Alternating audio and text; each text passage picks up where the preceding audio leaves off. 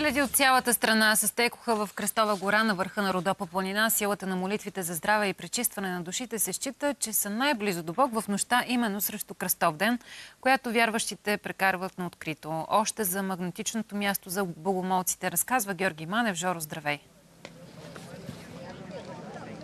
Здравейте! Намираме се на Кръстова гора и както виждате зад мен поклонението на хора пристигнали от цялата страна продължава. Това са хора, които не са прикарали нощта в поляните и около параклисите край това място, на което се намираме, но днес на Кръстов ден са решили да дойдат тук и в момента те чакат на тази опашка, за да се поклонят пред чудотворния кръст, в който е оградена частица от кръста Господен. Всъщност няколко са местата, на които а, тече поклонението тук. Това е едното място. А, малко отстрани се намират и 12-те параклиса на 12-те апостоли, в края на които е положен огромен бронзов кръст. А другото място е язмото в манастирския комплекс. За магнитичността на това място, за чудодейните истории на изцелението и за молитвената тишина не разказват самите хора, които нощуваха под звездите в Кръстова гора. Вярваме в че ще има нещо помощ за детето ни. Ами аз идвам вече 23 години. Всяка година идвам. Чудото е вярата. Вярата, уважението към Бога, търпението и се молим най-вече за здраве, живот, спокойствие и разум. Вярата в Бог. И за изцеление. За мен, за моето семейство и за целия народ. А вярвате ли, че тук наистина молитвите са най-близко до Господ? и- Да. За това сме и тук. Много е зареждащо, много добре ни се отразява и заради това идваме тук.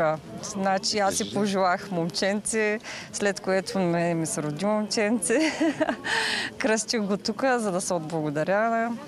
Усеща се първо спокойствието и то зависи колко си сенситивен, може би, всеки по различен начин. Ма като начало се усеща спокойствие и сигурност и, и силата, вътрешната сила най-вече. Всички вярват, че който от каквото е болен, тук е изцеление и чута молитвата му.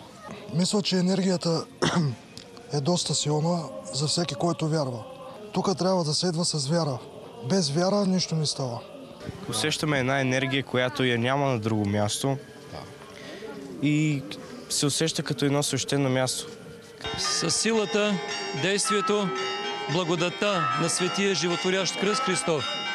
Бог да пази благочестивия ни народ и скъпото ни Отечество от всяко злощастие, всяка беда, от наводнения, от пожари, от земетръси, от всякакви стихии. Това, което споделят хората е, че най-голямото чудо, което се случва тук е именно вярата. Иначе много са молитвите, които те отправят предимно за здраве. Вярват, че това място наистина ги зарежда по начин, където никъде не може да се случи подобен в България. И както виждате, продължават да прииждат хората от цялата страна, а днес поклонението пред чудотворния кръст в Кръстова гора продължава през целия ден. Благодарим ти, Жоро. Очакваме твоите включвания и в новините на Нова Нюс. Уважаеми зрители, това е финала на твоя ден за днес. Бъдете с нас